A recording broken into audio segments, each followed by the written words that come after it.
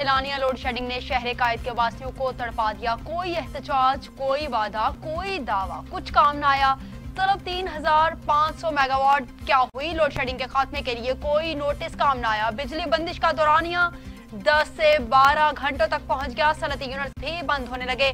खुदारा, मुस्तकिल हल ढूंढिए, शहरियों की अरबाब इख्तियार से इल्तजा।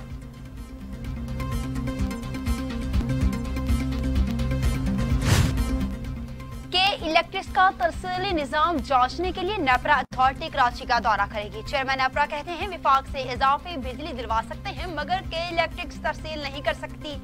कराची में लोड शेडिंग के हवाले से नेपरा में समाप्त लोड शेडिंग खत्म होने तक पैक ऑफ़, और पैक ट्रैप खत्म करने की तजवीज़।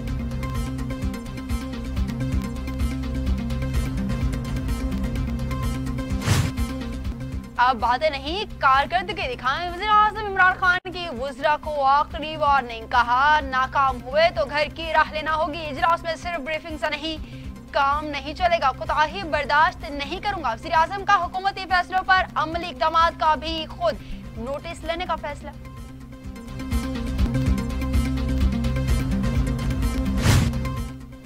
ऑपोजिशन वज़ीर आज़म के खिलाफ कुछ भी नहीं कर सकती। इमरान खान पाँच साल की मुद्दत पूरी करेंगे। शेख रशीद का एक बार फिर से दावा कहते हैं, शहबाज शरीफ को जैसा कहूँगा, वो वैसा ही करेंगे।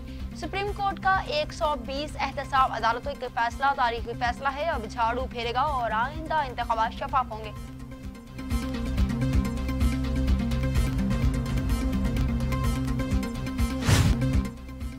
सईद गनी ने विफाकी हुकूमत को नालायक करार दे दिया है। कहते हैं, विफाक अवाम को धोखा दे रहे हैं। मुल्क को इतना नुकसान कभी भी नहीं पहुँचा जितना इस नाअहल हुकूमत ने पहुँचाया है।